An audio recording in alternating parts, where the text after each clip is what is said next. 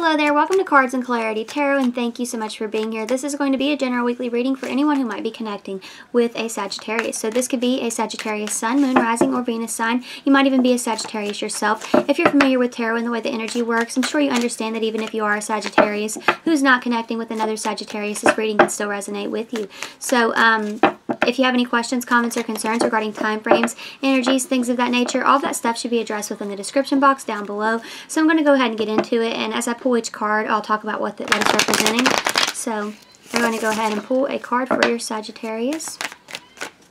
The Hermit, Virgo energy. Okay, so their dominant outward trait, this is going to be how others view this person. Uh, perfectionist. Knight of Pentacles, Virgo energy. Okay, something others might not know about this individual. Okay, the moon. You could be a Pisces. You don't have to be.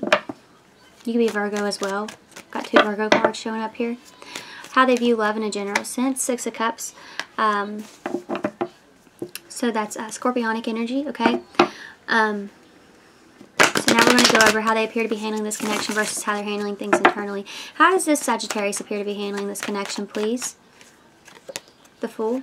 Aquarian energy, okay? Uh, how are they handling this internally? The Hangman. All right. Um, so let's see here. What are their goals? You could be a Scorpio. You don't have to be. Death card. what are their intentions? Ten of Pentacles. Virgo energy. Three Virgo cards. Jesus. What's at risk here for this Sagittarius? Four of Wands. Aries energy. All right. Um, what obstacles are they seeing present? What obstacles are they seeing present? Two of Swords uh, Libra energy, okay?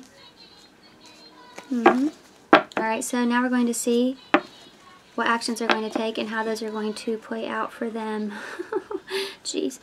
Page of Swords, Air Energy, Gemini, Libra, Aquarius coming up as the actions they're going to take.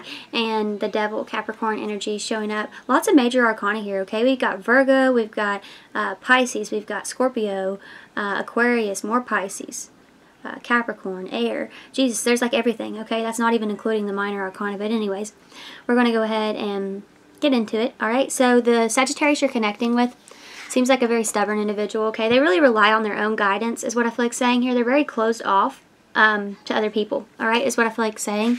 Um, they're just a really reserved individual, kind of shy, okay? They are a perfectionist, I feel.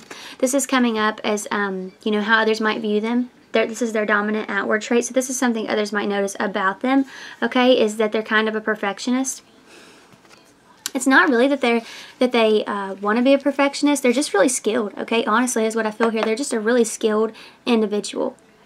Okay, what others might not see about this Sagittarius is they actually have, see, and this too, this Knight of Pentacles too, to me is somebody who has it all together. Okay, they have it all together. They're very um, cautious. They're very frugal. They're very, um, you know, just they're really responsible individual. All right, they hold it all together, but I do feel like they have a lot of emotions. They have a lot of anxiety. This person could suffer from, um, you know, some kind of mental illness is what I feel like saying here, depression, anxiety, something of that nature. If they do, it's something they really keep to themselves, okay? But they are a very, very emotional individual, but I do feel like they kind of close that off uh, they kind of shut down from other people. Six of Cups is showing up as uh, how they view love in a general sense. So uh, I don't feel like they take love very seriously, okay? And I don't mean that in the sense that like they're not committal uh, or anything of that nature. I just feel like they like to have fun and love, all right? They're very, they have a very childlike energy when it comes to love, okay?